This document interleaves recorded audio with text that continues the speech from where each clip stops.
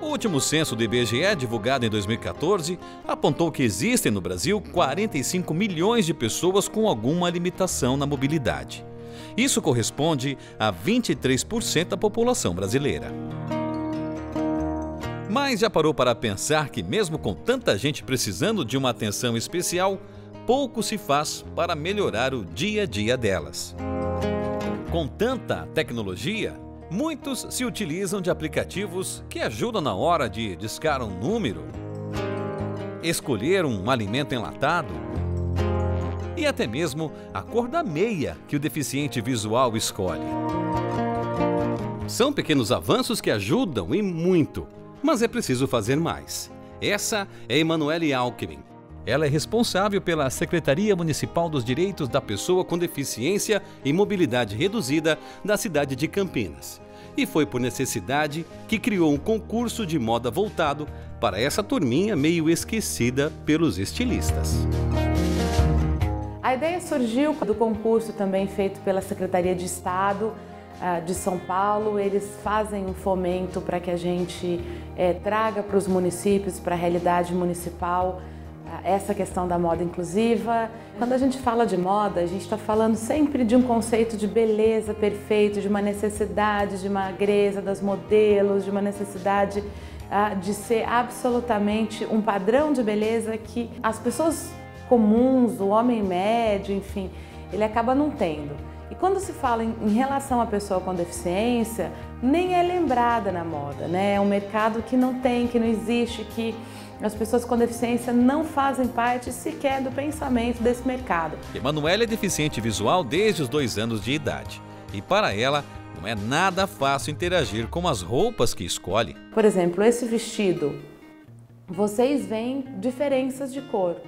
Se eu passo a mão no vestido, eu não percebo diferença alguma, é o mesmo tecido. Então esse vestido não fala comigo. Você deve se questionar.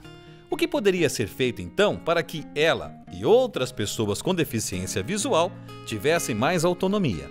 Se eu tivesse um relevo, se eu tivesse uma diferença de tecido, se eu tivesse de repente uma cola, alguma coisa que pudesse falar para mim as diferenças de cores, eu conseguiria me apropriar dessa moda, me apropriar da linguagem que eu estou usando através da minha roupa. Então, esse concurso de moda vem para trazer para os estudantes a existência da pessoa com deficiência e essa existência vir para o mercado de moda, para o mercado fashion, para o mercado de beleza, para o mercado ah, que, do conceito todo que envolve moda.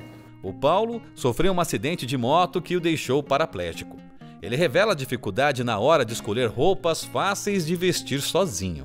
A deficiência é uma coisa bem, bem individual de cada pessoa. Cada patologia tem uma dificuldade. Eu sou presidente de uma associação e todos os meus atletas são tetraplégicos. Eu sou paraplégico. A tetraplegia limita os movimentos da mão para mim, me vestir não é difícil. Eu consigo me vestir tranquilo, consigo abrir, fechar um zíper, abrir, fechar um botão numa boa. Mas para a maioria dos meus atletas não, eles não conseguem abrir e fechar a mão.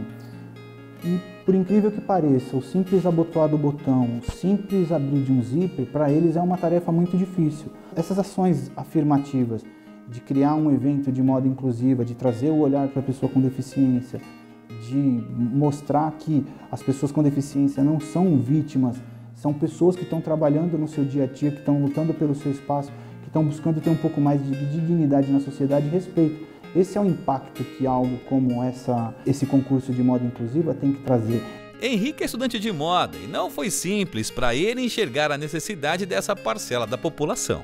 Eu cresci numa família que ninguém tinha deficiência, então para mim aquilo não, não fazia parte do meu universo. Fui conhecer um time Paralímpico aqui de Campinas mesmo. E aquilo abriu a minha cabeça. Com um olhar diferente na necessidade do outro, fez Henrique ganhar um outro concurso de moda. Uma ideia simples, mas que fez toda a diferença.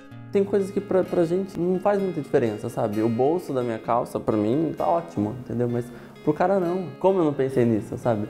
Você se, se veste todo dia e, e você nunca imagina que tem outra pessoa que está passando por uma dificuldade e que você pode resolver isso. Tanto que a peça que foi para um cadeirante. E uma coisa que chamou muita atenção do pessoal do concurso foi o bolso, porque eu coloquei um bolso na coxa. Eu acho que a gente melhorou muito, não tem como dizer que não.